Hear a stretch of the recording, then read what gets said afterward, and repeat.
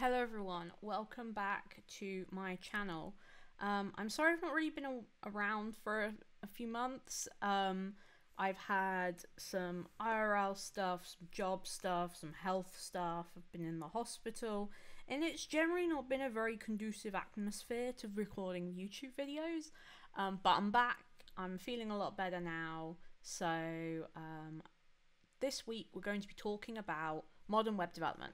So often I see a lot of CTFs which are well meaning, um, but actually have a lot of poor advice because the way websites used to be constructed, like 10 years ago, is not really how modern websites are made. And particularly some um, uh, bugs like SQL injection are actually really rare now. Um, but no one really explains why that's the case. So in this video, I'm going to be talking about modern web development with a focus on Laravel uh, because that's the framework that I'm most familiar with as I did it professionally as a job.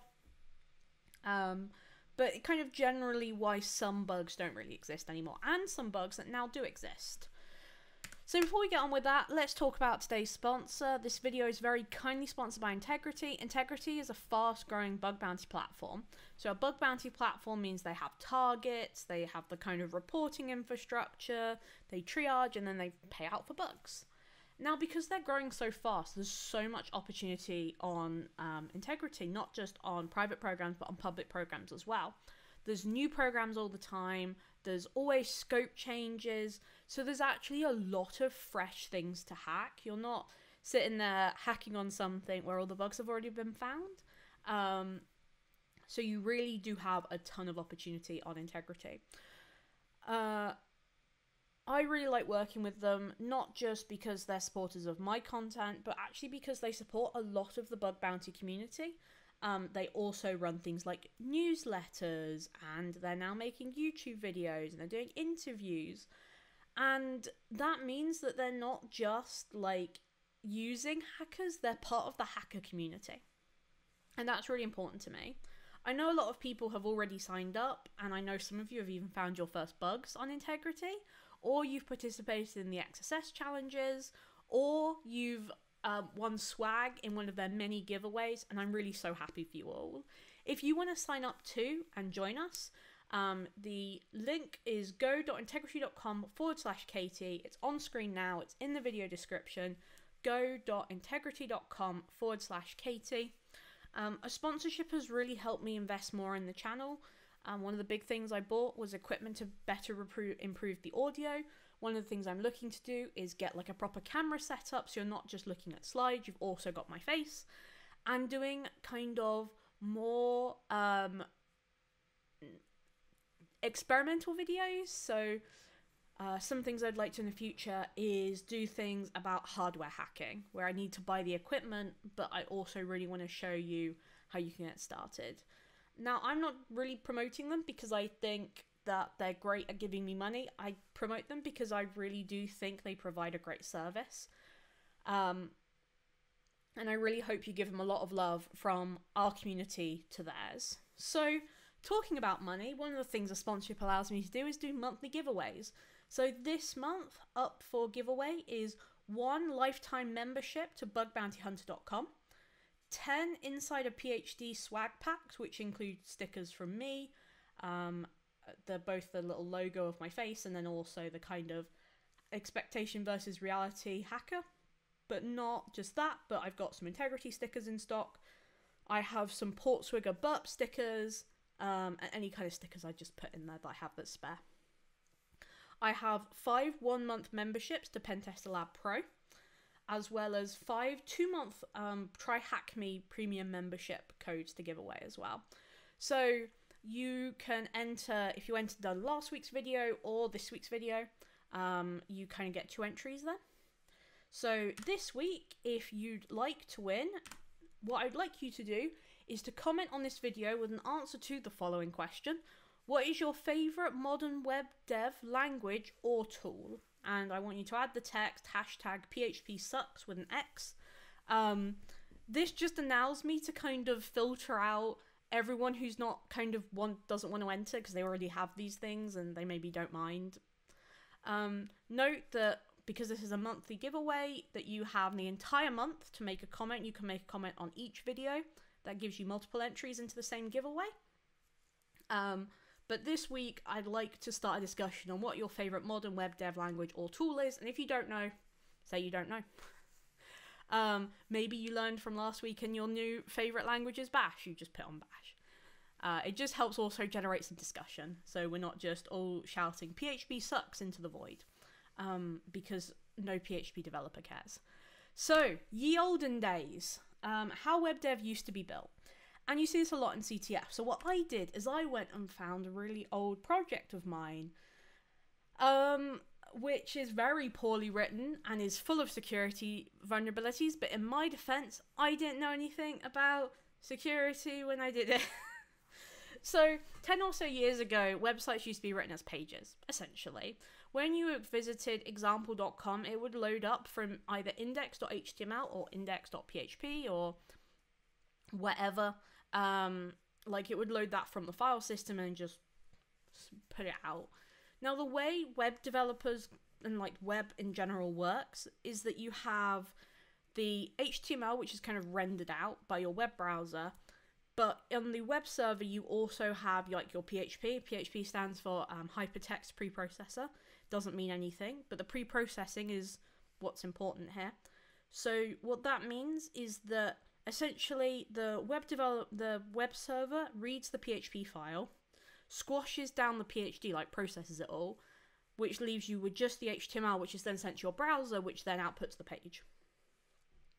So you can do a bunch of different things with this. For example, you can include other PHP files, and essentially, if you saw, you know, example.com forward slash page.php, there would be an actual file called page.php with all that file in. And for example, this PHP file, so PHP in general starts with, um, and this is true now as it used to be, this like PHP thing here. And then we can see we've got include viewbet.php. This is an actual file that exists, and you can kind of see that the file is then read line by line by line. Over here you can change the header, so this changed the header location to be indexed complete, um, and all that does is just kind of forward you to another web page essentially. And you can see this is like generic PHP code. Um, so the best way to think about how HTML, CSS, JavaScript, PHP, and MySQL works is kind of like a house.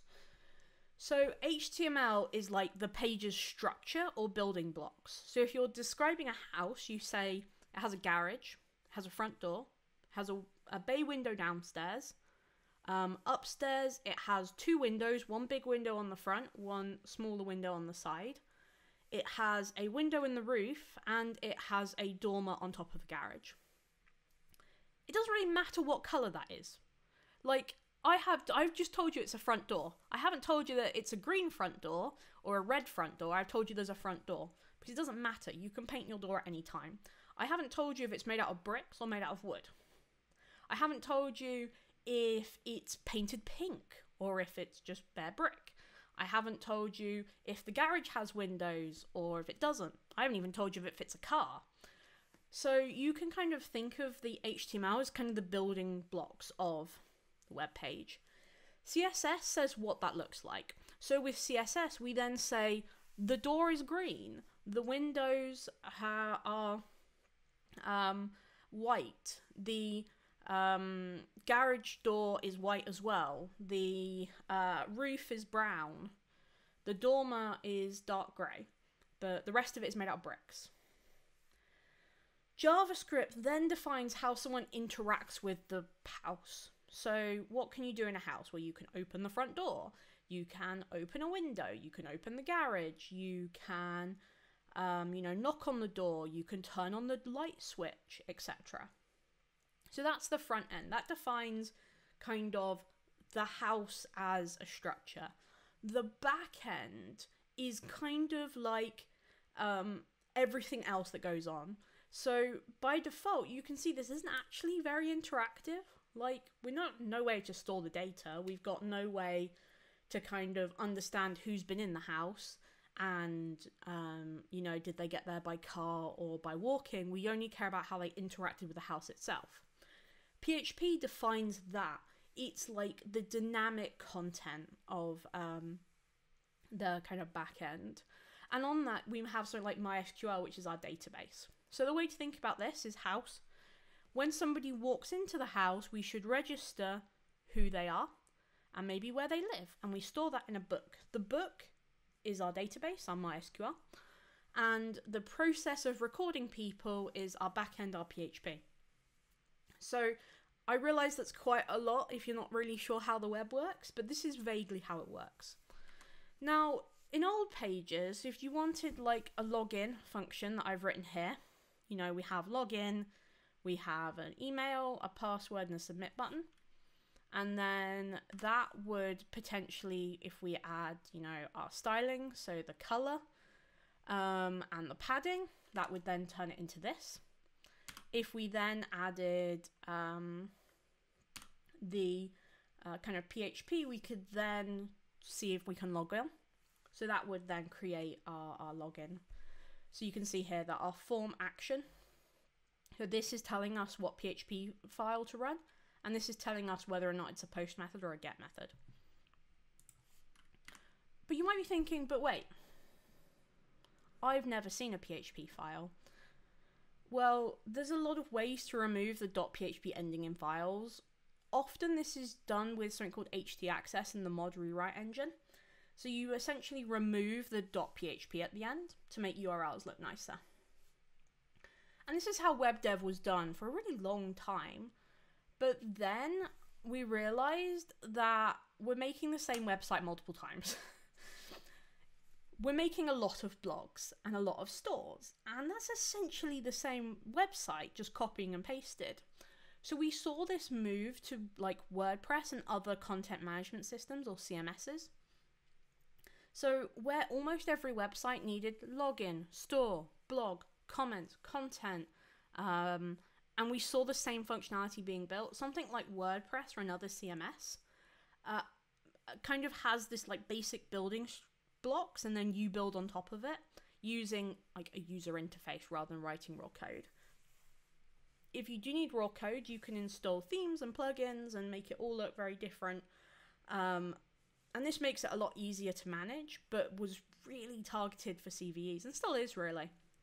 Like WordPress is full of vulnerabilities you find the right WordPress version, and what you found is a web server that's already been compromised. Now, for like a company making software, there are some problems with this. So the first one is there's no clear separation between what the front end is and what the back end is, because PHP code can exist in um, HTML and with HTML. Now, especially over the past like 10 years, we've also seen front end and back end jobs require a really different set of skills. We have more interactive websites with even more JavaScript frameworks like Angular, where, you know, most of it isn't done with, um, you know, hyperlinks anymore. Most of it is done with buttons, and all this can be changed, and you want users to be able to edit stuff. The next problem is that people are really bad at writing secure code. Like, there is so much prob- so many problems with this that there are just vulnerabilities included by default. It's really easy to slip up and make a mistake. We also have accessibility issues. So the way um, things like Google work is that depending on um, their accessibility actually means whether they rank higher or lower on Google. Another move we saw was towards microservices in the cloud. Um, microservices are basically instead of having, um, you know, a single website, you have different parts of your website hosted by different things, and this is where we see the growth of things like APIs. So you can kind of see here that the mobile app will have an API to the RESTful API, which will access the inventory service service. The web browser will have access to the storefront web app, which will call from the inventory service, the account service, and the shipping service, which is also called by the mobile app. And each one of these accesses a different database. Now, this is kind of combined with technology such as Docker or like deployment onto cloud services. Uh, but primarily, the the kind of value of this is by encapsulating these different functions into different services. You can hot swap changes because it actually doesn't matter what um, language it's written in. Like if you are hiring a PHP developer, you can have them support every PHP service. But if you need to write something in JavaScript, you can hire a JavaScript developer to look at that one. You can, if that person leaves and you need it to then change to PHP, somebody else can and migrate that to PHP. It's not a case of like um, everything's in one file and you've got to look around where things are. We kind of separate it out. And especially in the development of mobile apps, and I said this in my mobile APIs video, generally you want code to be written once because it's really time consuming to write it multiple times. And so what you find is that the mobile app will just call the API and it'll be the same API that the browser calls because then you only have to write that code once in the API, not twice. The other um, difference has been moving away from procedural code to OOP. So in procedural code, you kind of run the code line by line by line, and you just go line one, line two, line three, line four, and then if you want to make change how the code works, you just add more lines or you move where the lines are. However, the move has been towards OOP. So OOP, instead of defining code by a series of, of things you write line by line, line by line, instead you describe objects and then things those objects can do and things they have. So, for example, you define a car, and a car will have a colour, a model, a make, a year, a fuel type, you'll be able to start a car, stop a car, accelerate a car, but it actually doesn't matter if that model is a Tesla or a Fiesta. They all kind of go in the same way. But a Tesla will have the kind of the electric electric engines, but the um, Fiesta will have like petrol, for example. Now, the other move has been Model View Controller. So, Model View Controller is a design pattern, which is these like um, set of reusable solutions to problem program uh, problems in programming languages. They're not language um, specific; they're kind of independent because they're ways of doing things. They comes from this book called A Pattern Language, which, fun fact, is also what inspired The Sims where you have like architectural styles. Like there's different ways of making a door, but at the end of the day, a door has to have specific function about it. If you have a kitchen, there's you, it doesn't matter what color the countertop is, but if it doesn't have one, you're going to notice it more. So, what we kind of do with the model view controller is we separate out um, the application into classes depending on what they do.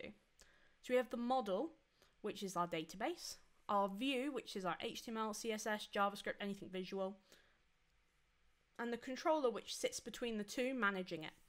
So it fetches data from the model, for example, which then is is um, viewed in the view, um, and then it loads up the view for you. So we kind of separate out our HTML, our CSS, our PHP, and our um, SQL into all these different functions. And this is really useful when you're hiring because if you're trying to make an application and you need to hire one front end design developer, um, you've got to hire a graphic designer, you've got to hire someone to do the back end. They're not all touching the same file constantly and messing up their code. So to do this, we've seen a rise in frameworks. Now these are just some frameworks. Um, there are many other frameworks out there. I've just picked a uh, selection here. We have Laravel, Symfony, ASP, Express, um, Spring, Ruby on Rails, Django, CodeIgniter, Grails, Flask, and those are then powered by different languages. So Laravel is written in PHP, so is Symfony and CodeIgniter. Flask is written in Python. Grails and Spring are both written in Java. Um, Django is written in Python. Rails is written Ruby on Rails. MVC is weird. Sorry, uh, ASP.NET MVC is weird because it's ASP, which can be C Sharp or Visual Basic. And then we have the JavaScript um, frameworks, which are like mind blowing. And just a quick note on them is that JavaScript frameworks solve a very different problem than some of these backend frameworks do. They actually work very, very differently. So the primary drive for them is about user interaction and calling APIs in the background. Those APIs can also be powered by Java, uh, JavaScript, by the way. That's not like limited, but it's just kind of how they work. I'm going to talk about them in another video, so they're out of scope for this particular video, but just know they're a bit weird. Um, and JavaScript frameworks are very, very common. Primarily, if you're hacking JavaScript frameworks, you really want to focus on API hacking. So, really do if you are looking at JavaScript frameworks, uh, take a look at my like many videos on APIs because that's basically how you hack them. So now we're going to talk about Laravel. Um, why Laravel? Well, Laravel represents what a modern framework kind of manages. It's one of, I think, the more popular PHP frameworks because it does things in a really modern way. Now, it's based upon Symfony, and Symfony also does some of this, but Laravel is a lot easier to learn. And because I used to do web development professionally, so before I did my PH- PhD, um, I actually went and did, uh, I worked as like a data scientist and developer, and all of that was done in Laravel. So I know quite a lot about how you'd write Laravel and how Laravel is written professionally versus like um, written writing PHP for a hobby. I used to write PHP as a hobby, then I did it as a job, basically. Um, it's very typical of what modern frameworks look like, and it's my channel, and I like Laravel the best, so I'm going to talk about it. Models. So, models represent the raw data, the object. The best way to think about this is this is the database. Now, when you are um, dealing with the modern web and databases, we actually don't write SQL anymore because our databases are object oriented. So, models represent the database side of the application. They don't really do things as much as they do define things. From a developer point of view, you don't write SQL, uh, SQL queries manually anymore. You can if you need to, but you usually don't because these use like um, more secure methods of SQL query called parameterized queries. And I'll cover that in a second, but they are not vulnerable to SQL injection. Um, but they are vulnerable to new vulnerabilities that happen because of how um, models work.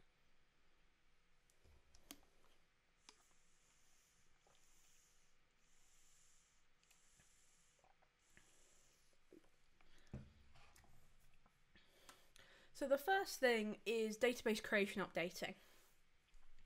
So in Laravel, we have database migrations.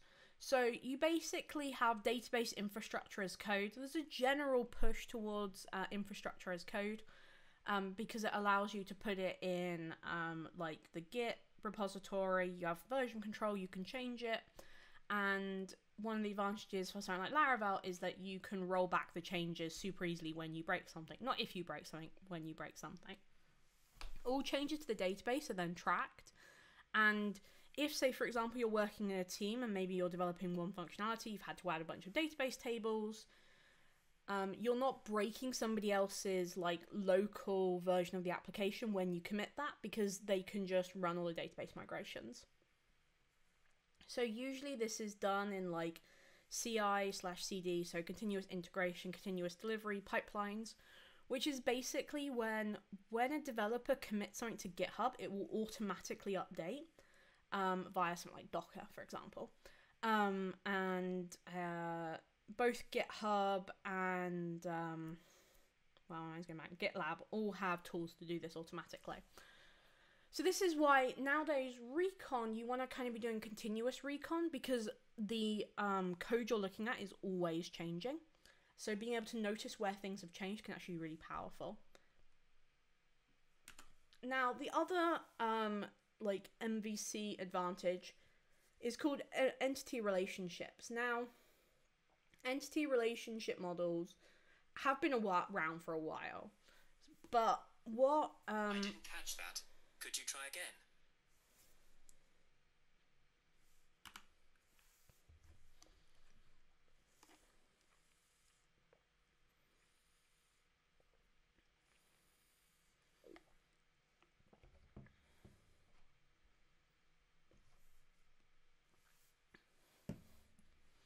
So the first thing is database creation and updating. So the major change that something like Laravel provides is um, database migrations. So it writes your database infrastructure as code rather than as direct queries. You don't edit the database directly. You write um, migration files, which then can be committed via GitHub. So any changes are then tracked and then even can be used to deploy the database. Um, one major change that we've seen is really CI and CD pipelines, so continuous integration, continuous deployment. And the idea is that you kind of commit your code to GitHub or GitLab, and then there's a whole pipeline that happens that automates all of those changes going live. It's why nowadays recon, it's best to do kind of continuous recon and spot changes because you can see where the code is changing because code might change multiple times a day. We also have entity relationships. So entity relationships are actually not a new concept. Um, they are the way people who design databases think about data. So you describe your data by the relationship it has. For example, one to many, many to many, one to one has many through. So a user has many orders, but an order only belongs to one user. A video has one thumbnail, a thumbnail belongs to one video. A student has many classes, a class has many students. An order has many items. Um, a user has an order, therefore, a user has many items. And these are all the different types. Um, essentially, you define this in a model and then it's reflected in the database via foreign keys. And really, this is kind of done automatically. Um, so it kind of creates this uh, kind of structure here where you have, um, you know, posts, ID, title, text. Um, and instead of having the like a separate author, you actually have uh, a user ID which represents the author of a post. Um, this is kind of standardly done, but one way of noticing these is seeing something ID. And I've got a um, something I'll be sharing actually in an upcoming video is how to automate finding IDORs using this because there's a really cool way of finding IDORs automatically and following these uh, entity relationships. So, what does this kind of mean for you hacking something? Um, primarily, it affects APIs. I've talked a lot about API hacking, so I won't go into it too much, but this is primarily how APIs are now written. Um, because you have entities like posts and users, and they have relationships between them. Now, one thing that is completely new is object relational mapping. So, an ORM, in, in Laravel's case is Eloquent, means instead of doing the database queries, the data is loaded automatically into objects, and then when you change it, um, you then just save it so, for example, instead of writing select all from user where username is user and password is password, you then have um, this kind of OOP way of doing things, right? User dot dot, which is um, PHP for um, like using a method, where username is user and where password is password becomes this kind of like functions instead of this raw SQL. And because you end up defining those um, entity relationships in Laravel, it means you can retrieve relationships super easily. And this is why modern APIs um, are kind of generated a lot of the time automatically rather than manually. Um, a lot of the time, things like Laravel will have automatic code that will do it. I'll put an example in the description from Generic University where I built this functionality for Generic University where it just automatically generates RESTful API endpoints and it's just sorted. Now, the thing to know about ORMs is it really makes editing these easier. Now, instead of writing a query, which is vulnerable to SQL injection, you can now just do save. So make it makes creating and updating database resources much easier for developers, but it can actually make it vulnerable to new bugs, for example, mass assignment and IDORs, um, because you're not necessarily aware of what's being updated and what the security controls on that model need to be.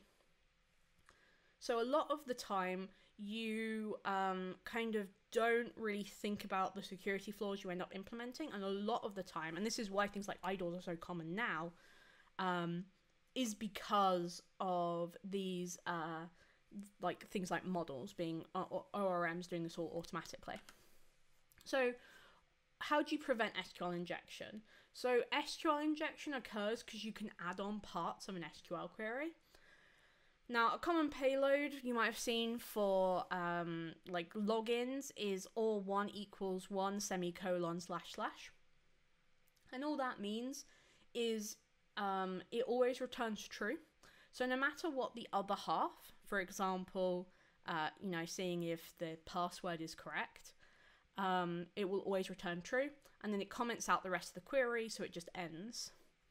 Now, instead, we see parameterized queries. So instead of just adding text on the end, you have these like question marks. And it basically compiles the SQL so it knows the entire end of it.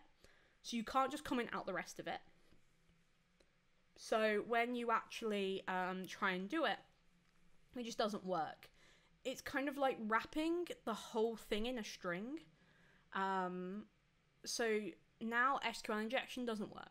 So if you're hacking some modern um, web frameworks, this isn't going to work. So how do you actually hack the database layer? So you can kind of see SQL injection becomes very rare, but it's not impossible. Because while SQL injection has become more rare, there's adding this additional layer of databases actually has vulnerabilities. A common one is query binding. Um, and developers can introduce some vulnerabilities by mistake, like mass assignment, because the databases you deal with are so huge. A lot of the creation of things like API endpoints is done automatically, so actually there's no oversight in how this is being managed. So how do you cause now SQL injection? Now you can actually see exactly what gets run on a Laravel um, uh, like query by looking at this kind of get query log, and it will show you how those kind of um, eloquent calls then get squashed down into queries. Queries eventually get run. It always gets run. Um, uh, but one thing Laravel has is DB raw, which does allow you to write SQL injection. So because of that, what you're able to do is cause SQL injection if it uses DB raw. If it doesn't use DB raw, you kind of can't cause SQL injection. But instead, you get mass assignment. So by default, eloquent models have a fillable property. And this defines everything you can change. Now, it means that every single time you make a database model, you end up having to like tell Laravel the data that can be changed. And if you don't do that, you can't edit a model. So the tempting developer solution is to use guarded. Now, fillable defines what can be changed, but if you have guarded, you define what can't be changed. And you can see how tempting it would be, for example, in this Medium post, um, to actually just write everything as guarded rather than using fillable. So developers end up introducing mass assignment because they end up putting in fillable and uh, sorry guarded instead of putting in fillable because fillable takes too much time. The other one is query binding. So you can actually inject additional parameters into how arrays are deserialized. Um, and this has got the POC here. So you can kind of see um, what the POC would look like. But essentially, you are able by doing um, like using uh, arrays that you can like put in uh, the the query. This is now fixed in the most recent version, but it's a really interesting uh, look into how database the database layer is then hacked in in Laravel, and in other frameworks will have similar bugs. Controllers. So how we actually use the models. Controllers are the glue of modern web dev. Controllers are where most of the code and logic is in modern web dev. Um, most of the code in these is kind of similar to older methods of just writing code. Um, controllers will use models and output to views, and controllers can also output plain text, for example, in APIs. Now, one of the things you should consider in this is something called routing. Now, this is, I think, working at Bugcrowd, one of the most common things people misunderstand about how modern code is written. So, routing is a concept where you define routes, which is your URLs, and then you tell Laravel what code runs it that means um, you know you define a controller and you describe a method in that controller Uh, one advantage is being able to easily write RESTful lo- um, routes super easily or add things like rate limiting. So you can edit this really simply. But the thing people misunderstand is that multiple routes can use the same controller. So you can have one API controller which handles multiple routes. So if it does have a vulnerability, even though it's two different URLs, it can still be on the same piece of code because of the way routing handles things. So if you're thinking that can't be a duplicate, that's two different folders. Folders don't really exist anymore, and routing can mean they do share the same code. I'm not going to say that people are always correct about that, because certainly there is a point in like appealing decisions or getting more information, but it can be the case that something that doesn't look like a duplicate actually is. The other thing you see is something called middleware. So middleware sits between the request and the response, um, which is kind of before the request is sent to the controller. Another common duplicate reason, um, you can actually implement in here uh, XSS prevention and apply that to multiple routes. So again, what looks like two different URLs, two different endpoints can have the same code, which will be one middleware file. So often this is primarily used as a access control. It can also check for authentication as well. And this is really important for understanding why some IDORs happen. Because essentially you can have a middleware which defines if someone's logged in, but not necessarily if they have the permissions to edit something.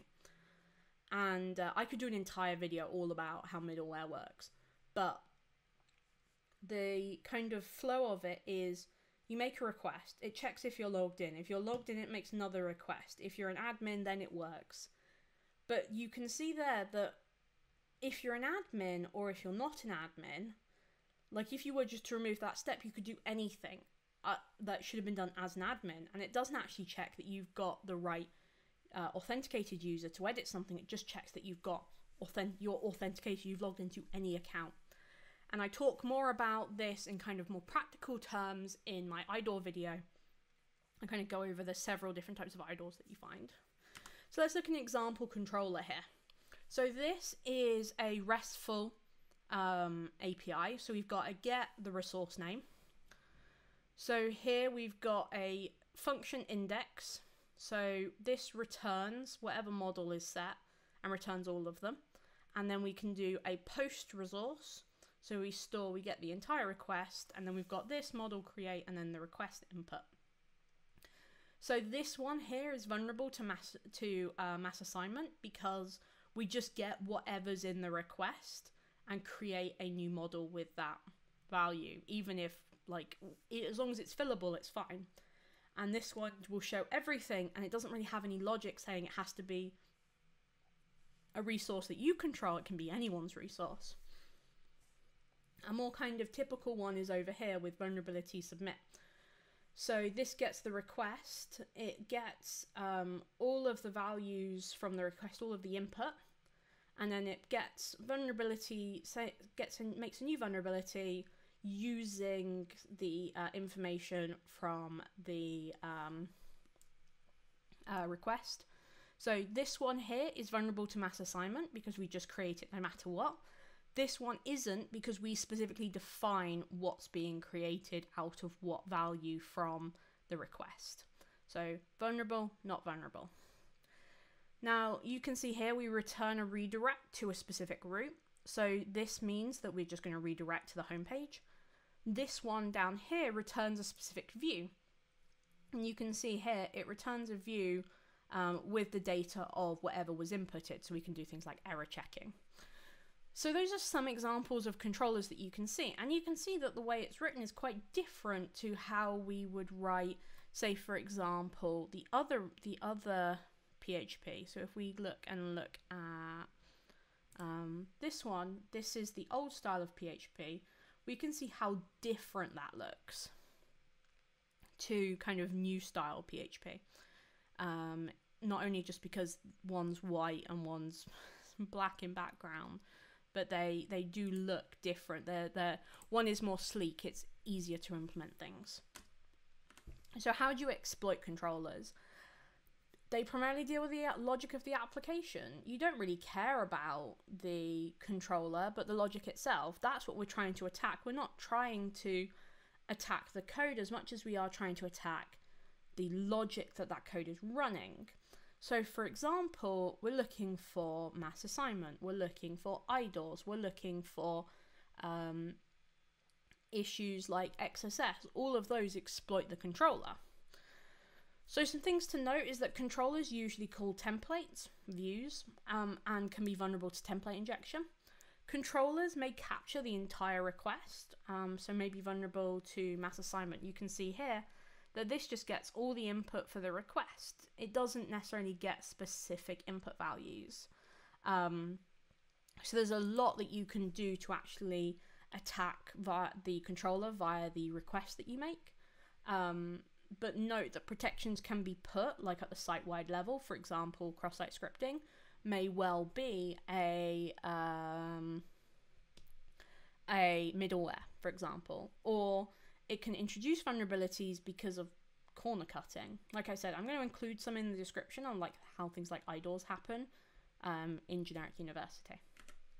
So views. Um, and primarily views are templates and template injection. The templating engine in Laravel is called Blade.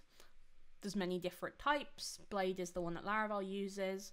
The view, as we said before, is the visual part of the website. It contains a mix of CSS, JavaScript, HTML, and it also includes the PHP because it outputs that result from the controller into the visual thing. Um, but there's also additional logic in there, including in PHP. So, for example, if statements, you can kind of see the displaying data here. Um, we send it name and it outputs name, but you can see that this would help security issues because we're only returning the input, so like that we've we've described, not additional input.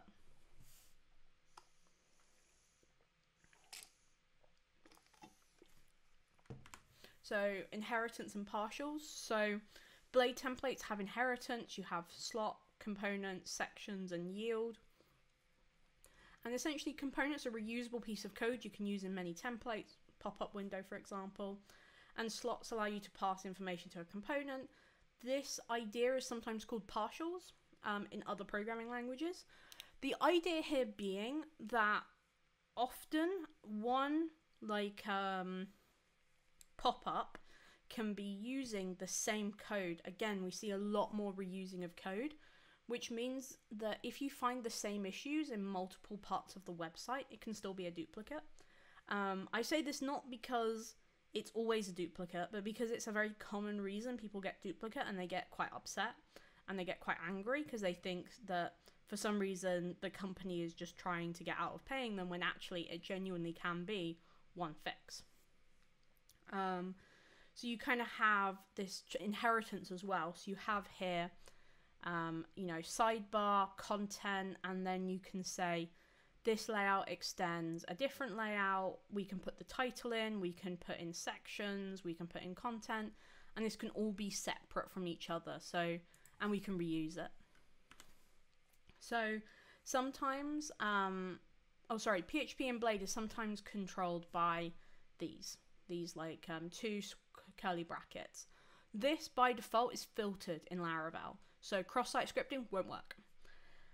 Now, you can remove the filtering by choice by doing curly brackets, exclamation point, exclamation point to remove it, which allows XSS payloads to work. Um, you can also access special arrays, for example, input, which can contain the previous parameters from the post body. Um, but in the most part, it can be hard to find cross site scripting. And this is, again, I think quite a misunderstood part of modern web development is that actually finding cross site scripting is not as easy as it used to be because usually it's filtered by default. Um, like as in it doesn't even reach the developers. It's filtered like way, way, way before it reaches somebody's code. Um, and that's really one of the reasons why I don't actually recommend beginner bug bounty hunters look for cross-site scripting because it's becoming rarer and rarer every year. So you can also render in different languages as well. So developers aren't just limited to placing PHP and HTML, but you can place PHP in the JavaScript. So, for example, this is, I think, from Generic University, where you can define a route name and create URLs dyna- dynamically. Um, so, it means that we also, once something's fixed, we kind of don't edit it anymore. Um, so, often, this is why you primarily attack the logic of applications rather than specific parts of it. Uh, the best way to think about it is that quite a lot of this is out of the developer's hands. Um, so you don't necessarily need to worry about it as much. But Laravel and most other templates are still vulnerable to template injection, most common vulnerability. Um, this is a really great example of testing for template injection. So if this works, then you can try this and then determine which template it is and then what to try when things don't work. But for the most part, if it's not vulnerable to this payload or this payload, it's not vulnerable to um, template injection. And what template injection means is that you're running your own PHP code.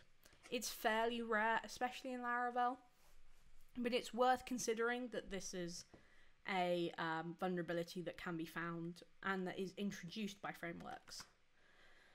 XSS is rare in modern web apps. The framework will usually take control over things. A lot of people will say that it's not vulnerable at all. And that I think is untrue, but one thing to note is it's not actually insecure to store or output an XSS payload, it's insecure to render it as HTML. Like, if you store alert 1, does that's not vulnerable to anything. It's when the alert box fires that it's vulnerable. So Laravel uses um, the two curly brackets to escape um, XSS attacks. So that's why XSS is more rare in, in modern frameworks like Laravel. So other considerations, Laravel is huge. Like as a framework, it's absolutely massive. And that means there's a lot of different ways of attacking Laravel and a lot of different considerations. One thing to consider is Composer. So Composer is a package manager. If you're familiar with um, Python, you might know pip or npm. It allows developers to include other people's code, specifically at the right version. And what that means is it's actually really hard to find CVEs associated with um, frameworks, not because they're not vulnerable, but because you have to go down this entire rabbit hole. So Laravel Laravel calls Laravel framework. In Laravel framework, you have Symfony routing. In Symfony routing, you have Symfony Polyfill PHP 8.0. And then you finally have Symfony Polyfill PHP uh, 80, which requires only PHP. So you have to go down this rabbit hole, and that's one. Like, you've also got to look for all of these other ones. Like, you've got to look at um, all of Symfony here, because Laravel is based off of Symfony. You've got to look at things like Doctrine, which is a part of Symfony, as well as like random other things like SwiftMailer. SwiftMailer will have its own list of requirements. So, actually, finding any known vulnerabilities, you have to search all the composer files, and that can be quite time consuming to find CVEs. One great way to bypass this is to just keep an eye on like the framework security notices and look through GitHub and see what changes have been put in place to prevent them.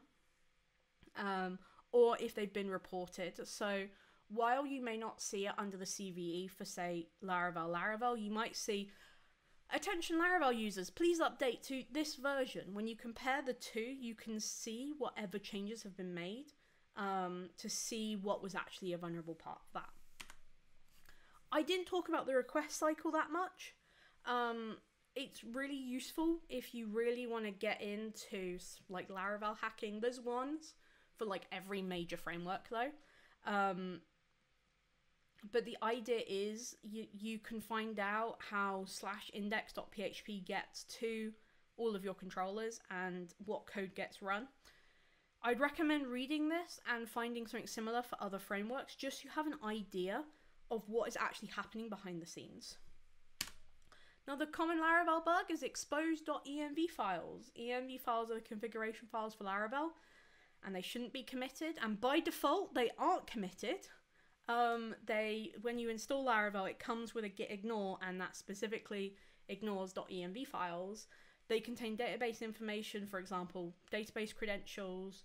Um, if you're doing source code reviews or kind of like um, GitHub, Google Dorking, um, always keep an eye out for .env because, as you can see, you can have access to the database, you can have access to um, uh, Redis, you can have so many different accesses from this.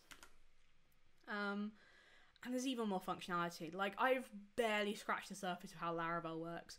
Laravel, you can write console commands, you have events and notifications, you have file storage, mailing, you've got the uh, queues, default rate limiting, task scheduling, encryption, and that's not even starting on third party tools like, for example, IDE Helper.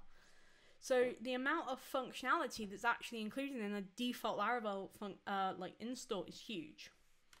Not to mention, there's also Lumen. So Lumen is a micro framework which is based off of Laravel, uh, and it's used for very simple APIs which don't have a lot of backend logic, which includes things like routing, controllers, middleware, authentication, mailer, queues. You can enable Eloquent. Like, this is a whole other thing to consider, which is micro frameworks. You've got WAFs, so while Laravel's filtering is very good, it doesn't necessarily always work.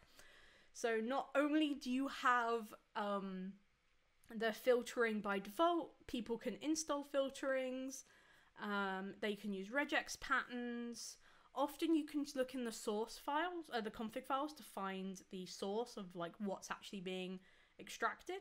For example, like this, you can see here that even if you write a db raw query, that you can actually filter out, you know, union select um, or delete or select automatically using a WAF. And on reflection, the modern web is very different to what it used to be 10 years ago. And I think it's a mistake for a lot of bug bounty hunters to pretend that it's not. The kind of bugs that we saw, like even, you know, two years ago, as kind of suggested beginner bugs, just aren't the same anymore. Cross site scripting is much rarer, SQL injection is much rarer. And even if you find things, they're going to be essentially zero days. Now, can you find zero days? Yeah, totally. Can you find them reliably? Not necessarily. And I think this is a big um, kind of issue in how like Laravel works and how all modern frameworks work, which is that actually hacking them, you have to rely a lot more on the logic put in front of you, the business logic of an application. You have to look for IDORs. You have to be on the lookout for business logic flaws. You are looking for bugs which essentially attack the functionality rather than the language of an application. And that's, I think, the major change in kind of this move to modern web that we see. So, with that in mind, thank you very much for watching. Um, I hope you found this interesting, and if not, a good like fun rant on how the web has changed in the past 10 years. I want to thank our sponsor Intigriti again. Um, I really don't take an advertiser having an advertiser on the channel very lightly. Um, I really genuinely think they do amazing things for the community, and it really has allowed me to make investments in my channel, like improving the audio, improving the editing. One reason I really like working with them is because they care about the community.